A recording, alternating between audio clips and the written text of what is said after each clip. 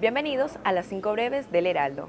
El foco está en terminar de recuperar la Universidad Autónoma, asegura la ministra de Educación. La alta funcionaria sostuvo que gracias a la intervención del MEN y el apoyo de la universidad se logró restablecer el servicio educativo y a su vez el calendario académico. Álvaro Uribe formaliza su renuncia ante el Senado. El presidente del Congreso, Ernesto Macías, confirmó este jueves que el expresidente envió la misiva con un mensajero, por lo que debe llegar esta semana al Senado. Incautan droga en barco que zarpaba de Puerto de Barranquilla. La droga estaba lista para ser despachada hacia Turquía desde un contenedor de chatarra. En Malambo descubrieron otro cargamento de marihuana. Pese a sufrir aparatosa caída, Quintana continúa en la etapa 18 del Tour. Nairo tiene afectado un hombro, brazo, tobillo y pierna izquierda. Sin embargo, el médico del equipo asegura que no es grave y espera su rápida recuperación. Chelito de Castro y Herrera le rinde tributo al Joe Arroyo en su aniversario de fallecido.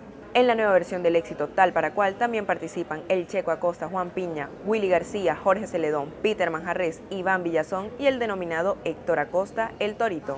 Y recuerden seguirnos en nuestras redes sociales, en Twitter y en Instagram nos encuentran como arroba el Heraldo y en Facebook como el Heraldo Barranquilla. Y estas fueron las cinco breves del Heraldo.